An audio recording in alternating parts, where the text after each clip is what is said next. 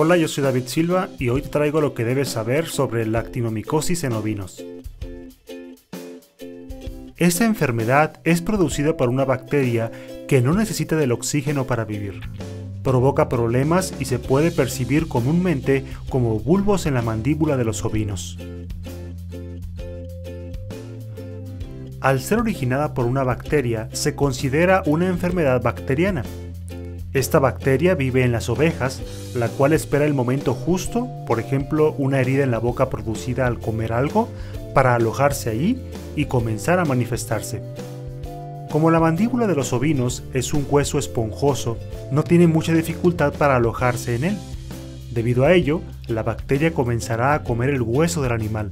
Se notará que se empiezan a mostrar como bultos en la mandíbula del borrego. Por consiguiente, es un crecimiento duro, ya que es óseo. Si fuera por culpa de un parásito, sería un crecimiento más aguado, blandito.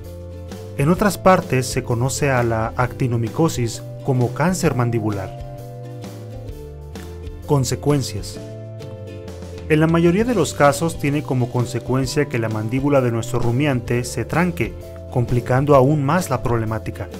Así pues, el animal deja de comer, provocando que el ovino baje de peso y así su ganancia diaria de peso se desplome. En otras ocasiones, estos bultos en la mandíbula pueden hasta repercutir en desplazamiento de piezas dentales, como por ejemplo en los molares o muelas. Al animal se le dificulta la masticación, tragar saliva, también cambia el carácter del ovino ya que hay dolor, quedando más fastidioso, y se comienza a ver el crecimiento del hueso. Si el ovino no cuenta con buenas defensas, este problema se puede llegar a presentar en otros huesos, comienza a migrar, no quedando solamente alojado en la mandíbula.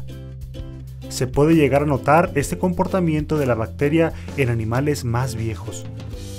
Cuando el hueso crece muy pegado a la articulación, puede provocar que el animal no pueda alimentarse correctamente. ¿Cómo combatir a esta bacteria? Consulte a su veterinario, el cual le dará el paso a paso para que su animal salga de esta situación lo mejor posible.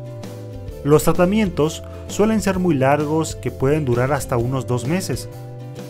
Además, toda infección que se ha provocado en el hueso es de difícil acceso para aplicar antibióticos. En el caso de las bolas o los bultos en la mandíbula o las llagas en la boca del animal, se puede aplicar antibiótico en la zona independientemente de seguir el tratamiento adecuado con el animal. Aunque la bacteria se elimine y el animal se recupere, esa bola que se formó en su quijada no desaparecerá ya que sufrió una modificación ósea, la cual no puede volver al lugar.